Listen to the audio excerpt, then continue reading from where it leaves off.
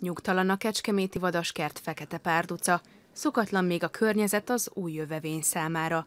Csak ma érkezett Szlovákiából egy foltos leopárddal együtt.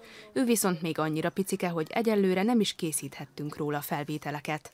Tokovics Tamás, a vadaskert igazgatója azt ígérte, nem sokára őt is láthatjuk majd egy új környezet, mindig új változás, mindig egy kicsit stresszes állapotot idéz elő náluk.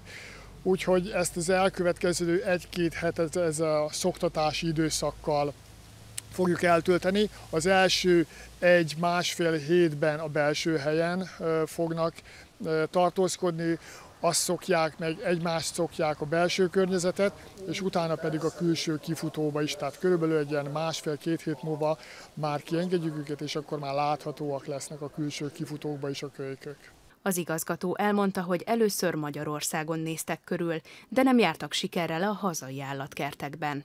Így történt, hogy Szlovákiából kerültek Kecskemétre a nagymacskák. A Kecskeméti vadaskertnek régebben voltak büszkeségei a foltos és a fekete párduc, ami egyrészt öregség miatt, illetve egy fajmentő program keretében a Fekete Párducunk elkerült Nyíregyházára, és mivel sokan keresték, ezért rögtön nekláttunk, hogy pótoljuk őket. Az új állatok is egy fajmentő programban vesznek részt. A vadaskert munkatársai úgy rendezték be a kifutót és a belső teret számukra, hogy a lehető legideálisabbak legyenek a körülmények a szaporodáshoz. A vadaskert egyébként is az utóbbi időben arra törekszik az elmúlt évek során, hogy minél természet közelibb helyet alakítsunk ki az ide érkező vagy a már itt lévő állatoknak. Ez volt a szempont a, a kölyköknél is, minél közelibb olyan ágakat, fákat, amit a természetes környezetben is megszoktak.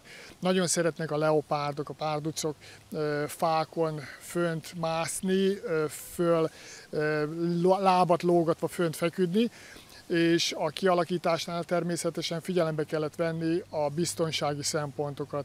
Párducoknál például fedett kifutót kellett kialakítani, tehát szembe az oroszlánokkal vagy a tigriseknél itt mindenféleképpen le kellett fednünk, tehát a, a fedett kifutó volt az előírás. Ezek afrikai leopárdok, és az az érdekességük, hogy ugyanúgy tudnak szaporodni a fekete is és a foltos is, és természetesen a szaporodásuk során nem tarka egyedek jönnek létre, hanem vagy fekete, vagy pedig ez a foltos, és akár egy alomban mind a két fajta is lehet.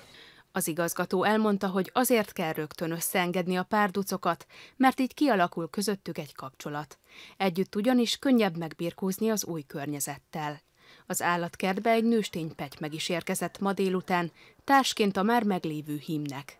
Egyelőre még nem egy térben tartózkodnak, csak rácson keresztül ismerkedhetnek. Hamarosan azonban ők is egy párt alkotnak majd.